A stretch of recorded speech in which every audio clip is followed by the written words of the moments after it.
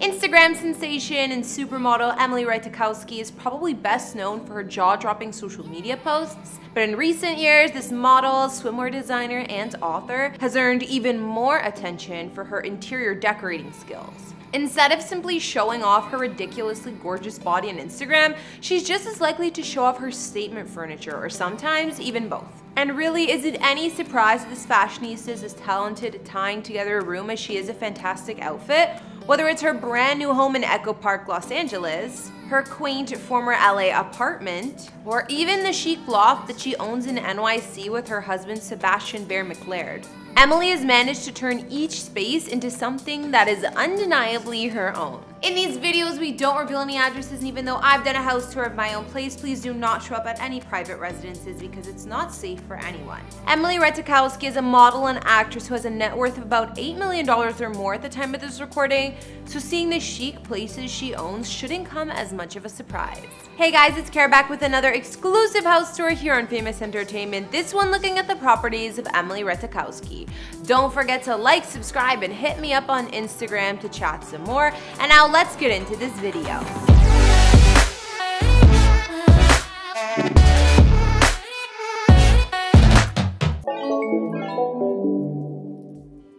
We have a big announcement and we're asking all of you guys for your support. We're launching a brand new channel titled Famous Life, and I need you to all go over and subscribe. If you want to know more about your favorite celebrities like Cardi B, Ariana Grande, Elon Musk, and everyone else in Hollywood, we will be unearthing tons of crazy info you won't find anywhere else. Be sure to go over and subscribe to our new channel, and we will see you over there with new content each and every week. When Emily was first starting off in the entertainment industry as a model and actress, she picked herself up a modest LA apartment that was home to an eclectic mix of Emily's three favorite things. I'm talking art, carpets, and reclaimed furniture. This initial home featured a large and wide open loft space that was located inside the building of a former factory, the remnants of which included exposed pipes that would run across the length of the ceiling, as well as polished concrete floors. What did this building used to be? It was a factory.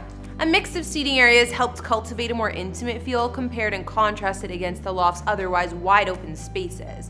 To soften the harshness of those concrete floors, Emily laid down a ton of rugs, including everything from cowhide to a vintage South Asian piece. Meanwhile, her walls were nearly as well covered as her floors, and all through the loft you could find artwork by a whole bunch of artists, including LA-based painter Henry Taylor. What's your favorite piece? Maybe this Katherine Bernhardt doesn't take itself too seriously.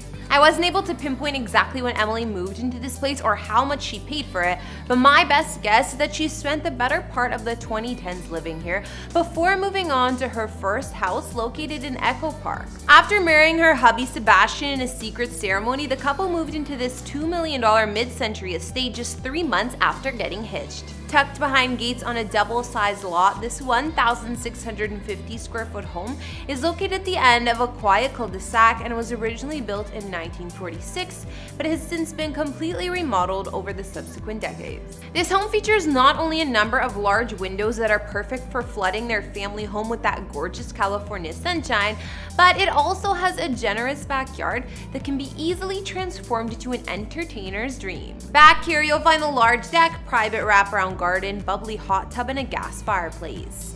Only a stone's throw away from there is a separate cottage that's connected to the main house through an open breezeway and can be converted into an office, a gym, or a guest house. Basically, whatever the situation calls for.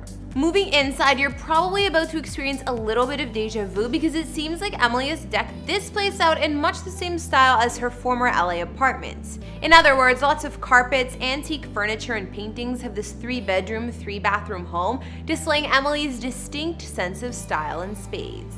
The living room has a number of interesting pieces, like ceramic jugs created by California artist Grant Levy Lucero. There's also a retro coffee table that complements the sorbet color scheme of the nearly $5,000 provocateur sofa that's located smack dab in the middle of the room. The warehouse style interior of this living room boasts high wood paneled ceilings, while the walls are adorned with oodles of Emily's art pieces, which add plenty of color to the otherwise neutral backdrop provided by the walls. Not too long ago, Emily took to Instagram to share an aerial view of this amazing room that revealed all I've already discussed and more, like the exposed brick chimney and that floor-to-ceiling glass that leads out onto the terrace. In fact, the image itself is so striking that it might take you a second to realize that Emily is totally naked sitting on that couch. Bet you did a double check just now though, didn't you? Alright, moving on before you get too excited, let's check out the dining room next. With its 60s style acrylic chairs colored candy apple red tucked under a black and white round table, having a meal or two or three in this kitchen is probably a pretty enjoyable time. Especially when you take into consideration what's staring at you directly in the face while you eat. That's right, the dining room is where Emily has decided to place the iconic photo from her 2014 Sports Illustrated shoot where she posed with nothing on but a painted bikini top. This particular reproduction of the image was created by artist Richard Prince and gifted to Emily afterwards. Meanwhile, the nearby kitchen is probably the part of the home that we've seen the least of, but from what I can see, it appears to still feature some original wood and white marble finishing that matches Emily's art deco taste pretty well. Finally, moving upstairs is her master bedroom, which is bursting with natural light and anchored by a few key decorative statements that definitely catch the eye. This includes a bright pattern rug, two Renaissance-style armchairs, and a large painting, which Emily says is her favorite of all her pieces. Of course, since the room is an ensuite, it also features a large walk-in closet, as well as a full bathroom with dual sinks and skylights. And that's where Emily and her hubby Sebastian, along with their newborn son Sylvester and their lovable German Shepherd Colombo, spend the vast majority of their time living. But when the family just needs to get away from the West Coast, they're lucky enough to have a separate home in the Big Apple, or at least they do for now. To be honest with you guys, both Emily and Sebastian have been careful not to show off too much of their NYC home. That's probably for one particular reason, but before we get into that, I figure I would give you a taste of what we do know about the place. Emily once took some time to show off her master bedroom in her Manhattan apartment, posting this picture of the city's natural sunlight flooding in through her open sash windows.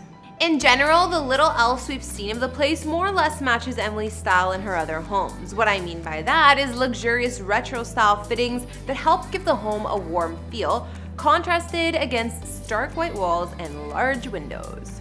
But the real interesting thing about this place is how much drama it has drummed up recently in Emily and Sebastian's lives. Just a couple of years ago, Emily had to defend her husband after the New York Post ran a story that suggested Sebastian had been taking advantage of a rent loophole for struggling artists that allowed him to skip out on the $4,900 a month in rent. Apparently back in 1982, something called the Loft Law was created that protected artists and other low-income tenants from being evicted from their home if the building they were living in did not have a certificate of occupancy or the necessary safety precautions like a fire escape. It turns out that the building Sebastian loft in does not have the necessary occupancy certificate, so Sebastian has simply stopped paying what he owes and built up more than $120,000 in back rent. Meanwhile, Emily is arguing that while yes, her husband is an independent movie producer, he's not as rich as, say, a Hollywood producer. And that means he's simply fighting the good fight to keep his home in the downtown Manhattan, which is located in the very same neighborhood he was once raised in. It's always so hard to choose a side when wealthy landlords are picking fights with world famous celebrities and haggling over money, isn't it? Honestly, no one really comes across looking great in this particular story, but hey, with two different homes, one on each coast, I'm sure Emily and Sebastian and their new family aren't too concerned odds are it'll all work out for them one way or another. Alright, now that we've checked out where the beautiful Emily Ratajkowski calls home, what did you guys think? Are you into her decorating style? I loved her sunny home in Echo Park, and it's definitely unique to say the least. Be sure to tell me what you thought of Emily's distinct interior design style in the comments down below. Thanks for watching, I'm Kara. Don't forget to follow me over on Instagram, and I'll see you all in the next video. Bye!